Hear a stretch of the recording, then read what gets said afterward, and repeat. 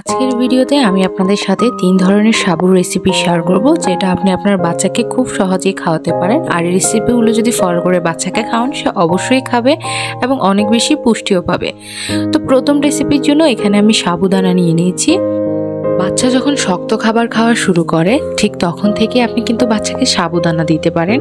আর প্রথম থেকে যখন সাবুদানা দিবেন, বাচ্চাদের কিন্তু কিছুটা কোষ্ঠকাঠিন্য সমস্যা হতে পারে। কিন্তু সাবুদানা এমন একটা খাদ্য যেটা খেলে বাচ্চা খুব সহজে হজম করতে পারে, যে কারণে তাদের কোষ্ঠকাঠিন্য সমস্যাও হয় না। তাই প্রথমবার খুব সহজে এই রেসিপিটা ফলো করে বাচ্চাকে বানিয়ে দিতে পারেন। তো এর জন্য আমি দু টেবিল চামচ সাগু নিয়ে নিচ্ছি। আপনারা বাচ্চার পরিমাপ অনুযায়ী এক, দুই, তিন চামচ পরিমাণে নিয়ে নিতে পারেন। তো সাবুগুলো আমি ভালোভাবে ধুয়ে নিয়েছি ধোয়া হয়ে গেলে আমি সেগুলোকে পানি দিয়ে দু ঘণ্টার মতো ভিজিয়ে রাখছি। ভিজিয়ে রাখা জরুরি কারণ সাবুদানা কিন্তু ভিজলে ফুলে ওঠে। এই যে দেখুন, আমার যে সাবুদানাগুলো আমি ভিজিয়ে রেখেছি, সেগুলো কীরকম ফুলে উঠেছে। আর দু ঘণ্টার মতো সময় যদি না থাকে, আপনারা গরম পানি দিয়ে 10 থেকে পনেরো মিনিট অনায়াসে ভিজিয়ে নিতে পারেন আর কিছুক্ষণ পর পর নেড়ে নেবেন, না হলে কিন্তু দলা পেকে যাবে। তো সাবুগুলো ভেজানো হয়ে গেলে এখানে এক কাপ পরিমাণে পানি দিয়ে তাতে আমি দুই টেবিল চামচ পরিমাণে যে সাগু আমি ধুয়ে নিয়েছিলাম, সেগুলো এখন এখানে অ্যাড করে নিচ্ছি। এখন আমি অল্প আছে, এগুলো ভালোভাবে রান্না করে নিব। আর যতক্ষণ না রান্না হয়ে যাচ্ছে, ততক্ষণ পর্যন্ত আমি অপেক্ষা করব। সাবুদানা কিন্তু পাঁচ মিনিটের মধ্যেই সিদ্ধ হয়ে যাবে, তাই আপনার এত চিন্তা নেওয়ার দরকার নেই। আপনি বারবার করে নিয়ে নেবেন যাতে দলা পেকে না যায়। সাবুদানা কিন্তু একটু আঠালে হয়, যে কারণে কিন্তু খুব সহজেই দলা পেকে যায়। আপনি আপনার প্রয়োজন অনুযায়ী পানি রাখবেন। বাচ্চাকে প্রথমবার যখন খাওয়াবেন, তখন অবশ্যই একটু পানি রেখে খাওয়ানোর চেষ্টা করবেন।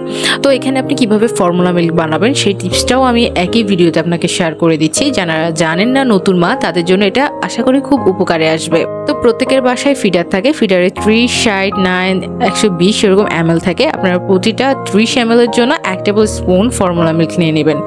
তো আমি এখানে থার্টি এম বানাচ্ছি, সেটার জন্য আমি এক টেবিল চামচ ফর্মুলা মিল্ক নিয়ে নিয়েছি। তো যেই সাগুগুলো রান্না করেছি, সেগুলো এখন আমি একটা বাটিতে তুলে নিব।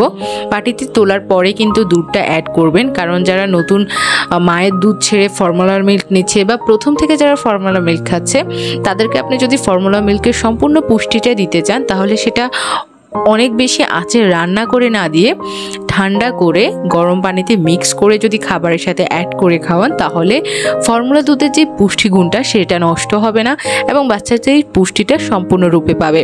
আর এই কথাটা কিন্তু আমার নয়, এটা কিন্তু পুষ্টিবিদের কথা। তো এইভাবে ফলো করলে আপনি কিন্তু সাবুদানার সম্পূর্ণ পুষ্টিটাই বাবুকে দিতে পারবেন।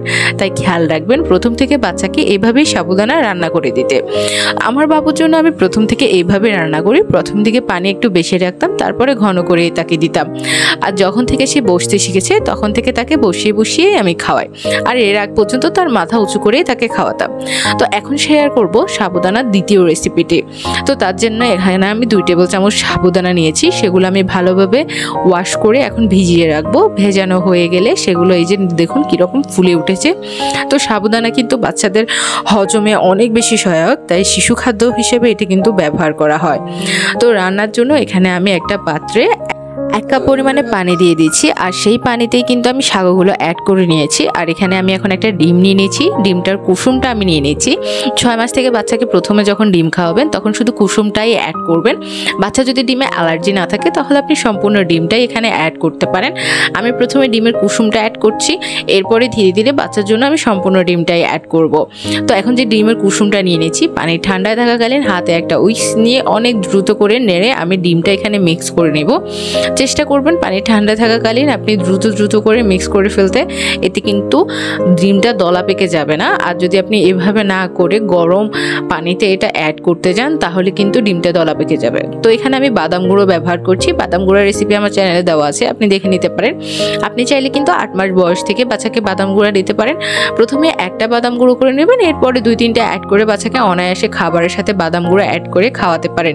এতে কিন্তু বাচ্চা বাদামের সম্পূর্ণ পুষ্টি পাবে। তো এখন রেসিপিটি যখন তৈরি হয়ে গেছে, আমি আপনাদেরকে সার্ভ করে দেখাচ্ছি।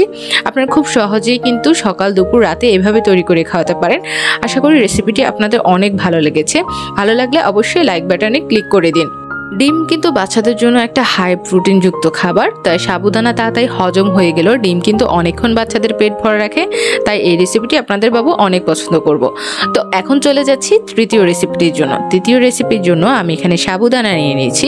প্রথম থেকেই আমি আপনাদেরকে বলে দিয়েছি, সাবুদানা কিন্তু মানব শরীরে দ্রুত শক্তি যোগায়। এছাড়া শিশুর কোষ্ঠকাঠিন্য দূর করতে নিয়মিত সাবুদানা খাওয়ালে কিন্তু অনেক বেশি উপকারও পাওয়া যায়। আর সাবুদানা কিন্তু দেহের পেশি সংকোচনেও সহায়তা করে। শরীরে পানির যে ভারসাম্য, সেটাও কিন্তু রক্ষা করে। সাবুদানা প্রোটিনের একটি উৎস, ভিটামিন কে এবং ক্যালসিয়াম ও লোহার মতো খনিজ পুষ্টিও কিন্তু এতে বিদ্যমান। তো আগের মতো সাবুদানা ভিজিয়ে রাখার পর, এখানে আমি এক টেবিল চামচ মুসুর ডাল নিয়ে নিয়েছি।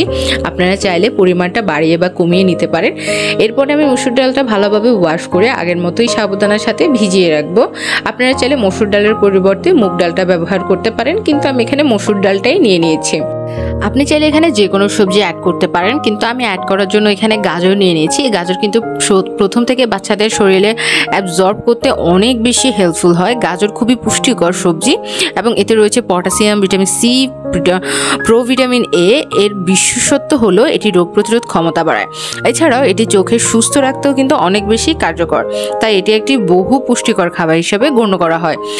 অন্যদিকে যদি শিশুদের স্বাস্থ্যের জন্য আপনি বলেন, তাহলে কিন্তু গাজর তাদের জন্য অনেক বেশি উপকারী হয়। সাগু যেরকম অনেক জলদি হজম হয়ে যায়, সেরকম গাজর কিন্তু অনেক জলদি হজম হয়ে যায়, যে কারণে বাচ্চাদের কোষ্ঠকাঠিনের মতো কোনো ধরনের সমস্যা হয় না। এছাড়াও আমি এখানে অ্যাড করছি আলু। আপনার হাতের কাছে যেই সবজি থাকে, আপনি সেটাই অ্যাড করতে পারেন। তো আলুর পুষ্টিমানের কথা যদি বলি, তাহলে এটা বলব যে অনেক বেশি স্বাস্থ্যকর। এটি শিশুর বৃদ্ধি এবং চোখের জন্য কিন্তু অনেক বেশি ভালো। এটা বিটা ক্যারোটিন রয়েছে, যা উপাদান দেহের ভিটামিন তৈরি করে। আর আলুতে প্রচুর পরিমাণে ফাইবার রয়েছে, যা পাকস্থলিতে জেল জাতীয় আঠালো পদার্থ তৈরি করে। আপনি বাচ্চাকে ছয় মাস থেকে আলু খাওয়াতে পারেন ইনশাল্লাহ অ্যালার্জিক কোনো রিয়াকশন হবে না। তো সবগুলো উপাদান এখানে আমি নিয়ে নিয়েছি একটা বাটিতে। নেওয়ার পরে যে সাবুদানা সাবুদানাটা ভিজিয়ে রেখেছি, সেটা আপনাদেরকে দেখিয়ে দিচ্ছি। সাবুদানা কিন্তু একেবারে ভিজে গেছে। তারপর আমি একটু নেড়েচেড়ে রেখে দিয়েছি। এখন একটা পাত্রে আমি এক কাপ পরিমাণে পানি দিয়ে দিয়েছি। আপনারা আপনাদের প্রয়োজন অনুযায়ী কম বেশি দেবেন। তো এই সবজিগুলো যা আমি ডাল সহ নিয়েছিলাম, সেগুলো আমি এখানে কুক করতে বসে দিয়েছি। তো এখানে একটা জিনিস বলা জরুরি, সেটা হচ্ছে আপনি যখন ছয় মাসের বাবুকে দিবেন, তখন মশলা অ্যাড করবেন না। এবং আট মাস পর থেকে বাচ্চার খাবারে আপনি একটু করে মশলা অ্যাড করতে পারেন। এরকম একটু করে জিরে গুঁড়ো, একটু হলুদ গুঁড়ো, যেমন আমি দেখিয়ে দিলাম। এক চিমটি এক চিমটি দিতে পারেন, না দিলে কোনো সমস্যা হবে না। এছাড়া আপনি বাচ্চার খাবার অয়েল বা বাটার দিয়ে ফ্রাই করেও অ্যাড করতে পারেন। তো এখানে আমি কিন্তু এলাচ গুঁড়ো এবং গোলমরিচ গুঁড়ো করে দিচ্ছি। এটা কিন্তু বাচ্চার খাবারের স্বাদ বাড়বে, বাচ্চা খেতে অনেক পছন্দ করবে। আর বাচ্চার বয়স যেহেতু এক বছরের কম, তাই আপনি বাচ্চার খাবারে কোনো ধরনের লবণ ব্যবহার করবেন না। তো যখন পানিগুলো শুকিয়ে আসছে, তখন আমি সবজিগুলো ভালোভাবে ম্যাশ করে তারপর সাবধানতা এখানে অ্যাড করে দেব। তো এখানে একটা টিপস দেওয়া অনেক বেশি জরুরি, সেটা হচ্ছে অনেকে মনে করে লবণ না দিলে খাবার স্বাদ হয় না, তাই বাচ্চারা খায় না। আসলে বিষয়টা এমন না। অনেক বাচ্চাই আছে যে লবণ না দিলে একটু সমস্যা করে বাট সেটা লবণের জন্য করে না। বাচ্চার মুখে যখন নতুন খাবারটা যায়, তখন বাচ্চা কিন্তু খেতে চাইবে না, এটা স্বাভাবিক। সে খাবারের সাথে অভ্যস্ত হবে, আপনি সেরকম করে বাচ্চাকে তৈরি করবেন। কিন্তু এক বছরের আগে একেবারে লবণ দেবেন না। তো আমার খাবারটা এখানে অলমোস্ট কুক হয়ে গেছে। পানি টেনে আসার পরে আমি সার্ভ করে আপনাদেরকে দেখিয়ে দিয়েছি। আপনারা অবশ্যই বলবেন রেসিপিগুলো আপনার বেবির পছন্দ করেছে কিনা, আপনি রান্না করেছে কিনা। এভাবে যদি বেনিফিট আপনারা দেন, তাহলে আমি কিন্তু অনেক বেশি খুশি হব। আর এই সাবু রেসিপিটি আমার ছেলে অনেক বেশি পছন্দ করেছে, সে একবার খাওয়ার পর আরও চেয়েছে, আর আমি এটা নিয়ে দুঃখিত ছিলাম যে আমি আরেকটু কেন বানাইনি। আর প্রথম থেকে আমার বাবু সাবধানা অনেক পছন্দ করে, তাই সবসময় তার জন্য আমি কোনো না কোনো রেসিপি অবশ্যই বানিয়ে ফেলি। তো আপনাদের রেসিপিগুলো কেমন লেগেছে জানাবেন, আর যদি ভালো লেগে থাকে লাইক কমেন্ট অ্যান্ড সাবস্ক্রাইব করে বেল আইকনে ক্লিক করে আমাকে সাপোর্ট করবেন। তো আমার সাথে থাকার জন্য অনেক অনেক ধন্যবাদ, আসসালামু আলাইকুম।